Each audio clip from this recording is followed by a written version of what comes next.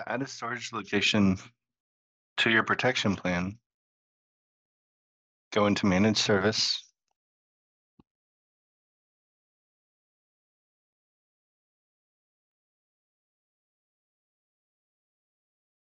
Find your device.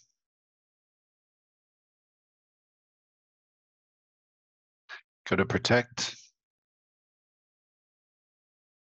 Pull up your protection plan for your backup.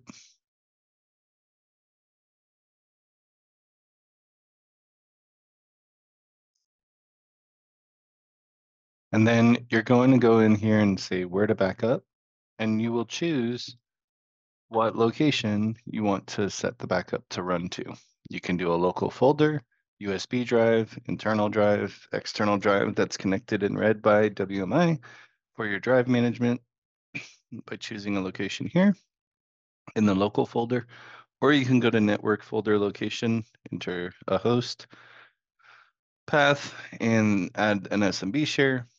You can use a secure zone, which is partitioning a hard drive to allow backup to a physical uh, location on the hard drive, partitioning out for a backup, and then having the user uh, data, the live operating system on the other partition. Then you could also store to public cloud. We have capabilities for Azure, S3, and Wasabi to be connected as a backup location. Once you select the backup location, you'll get another location down here, which can also be changed or kept to the cloud storage.